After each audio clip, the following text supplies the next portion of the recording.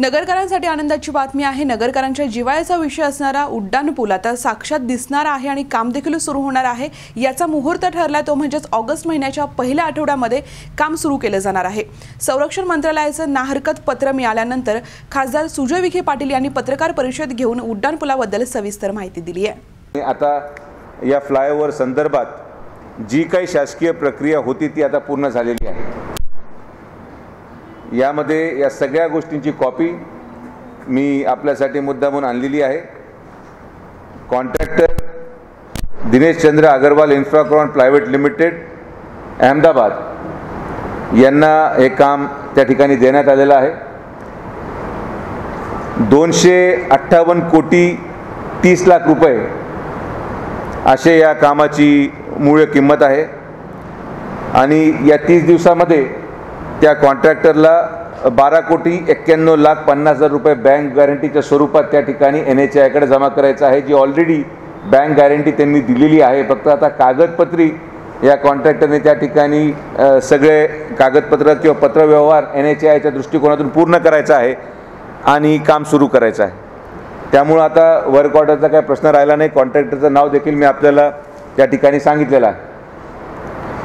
यामध्ये सर्वात प्रथम मी जे डिफेन्सचे कागदपत्र आपल्याला वर्किंग परमिशन मिळाली त्याची कॉपी देखील काही पत्रकारांना सर्क्युलेट केली होती जर मिळाली नसेल तर त्या ठिकाणी आम्ही आपल्याला ती कागदाची प पत्र आपण आमचे जे काही मीडियाचे संपर्क अधिकारी आहेत पेंडसे साहेब त्यांच्याकडून आपण घेऊ शकता.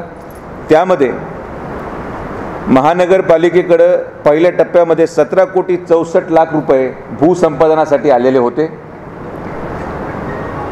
त्यापैकी सहा कोटी रुपये अगोदरच भूसंपादनासाठी खर्च झालेले आहेत. अकरा कोटी रुपये भूसंपादनासाठी शिल्लक आहेत. डिफेन्सच्या पत्रानुसार जे डिफेन्सचे अधिकारी नेमले गेले होते पुढची लावा. या प्रांत सर डिफेन्सचे अधिकारी नेमले गेले होते. त्यांनी आम्हाला नगरपालिकेला पत्र पाठवलेलं आहे. की डिफेन्सच्या अकाउंटमध्ये तीन कोटी चव्वेचाळीस लाख चौसष्ट हजार रुपये वर्ग करायचे आहेत. मी माननीय महापौर साहेब आणि उपमहापौरतांशी बोललो आयुक्तांशी बोललो तर उद्या हे पैसे आर टी जी एस डिफेन्सच्या अकाउंटमध्ये होऊन जातील. कॅन्टॉन्मेंट बोर्डला साठ लाख रुपये द्यायचे आहेत. त्यांचंही पत्र आम्हाला मिळालेलं आहे. नगरपालिकेला ते साठ लाख रुपये देखील उद्या वर्ग होऊन जातील. म्हणजे जी काही चर्चा होते की आता पैसे कुठून भरणार महानगरपालिका पैसे कुठून आणणार तर अशी काही परिस्थिती नाही. अकरा कोटी रुपये भूसंपादनासाठी आजही शिल्लक आहेत आणि त्यापैकी उद्याच्या उद्या आम्ही हे चार कोटी रुपये डिफेन्सला वर्ग करणार आहोत. डिफेन्स इस्टेट ऑफिस पुणा यांच्याशी माझं संभाषण झालेलं आहे. हे पैसे उद्या वर्ग झाल्या झाल्या लगेच त्यांच्या जमिनीवर आपण काम सुरू करू शकतो. तर हा डिफेन्स रिलेटेड जो काही पत्रव्यवहार झाला त्या संदर्भात मला आपल्याला माहिती द्यायची होती.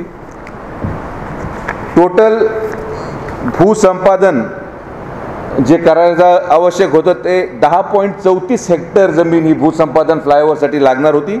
त्यापैकी सार्वजनिक बांधकामच्या नावावर जो एक्झिस्टिंग रस्ता आहे ते भूसंपादन आठ पॉईंट अठ्ठ्याऐंशी हेक्टर होतं. ते शंभर टक्के झालेलं आहे. खाजगी जमीन पॉईंट सत्तेचाळीस हेक्टर होती. त्यापैकी पॉईंट बारा हेक्टर झालेली आहे पॉईंट चौतीस हेक्टर राहिलेली आहे. ही जी पॉईंट चौतीस हेक्टर राहिलेली आहे यामध्ये मी नगरच्या प्रांतांना मुद्दा म्हणून बोललेलो आहे की काही लोकं त्या ठिकाणी एन ओ सीसाठी पुढं येत नाही आहेत वारंवार बोलणं करून येणार येत नाही. आहेत तर मला मुद्दा म्हणून त्यांना शेवटची विनंती करायची आहे की कृपया करून या ठिकाणी आपण या फ्लायओव्हरच्या प्रकल्पासाठी एन ओ सी द्यावी. अन्यथा हे पैसे कोर्टामध्ये जमा केले जातील आणि त्यांची जमीनवर महाराष्ट्र शासन अहमदनगर म्युन्सिपल कॉर्पोरेशनचा सातबारा उतारावर नोंद घेतली जाईल. ही शासकीय प्रक्रिया आहे. एक ठराविक कलम अंतर्गत तीनदा नोटीस दिल्यावर जर कोणी एन ओ सी दिली नाही तर त्या ठिकाणी त्या जमिनीवर सरकारी ताबा घेऊन बरोबर प्रांत साहेब?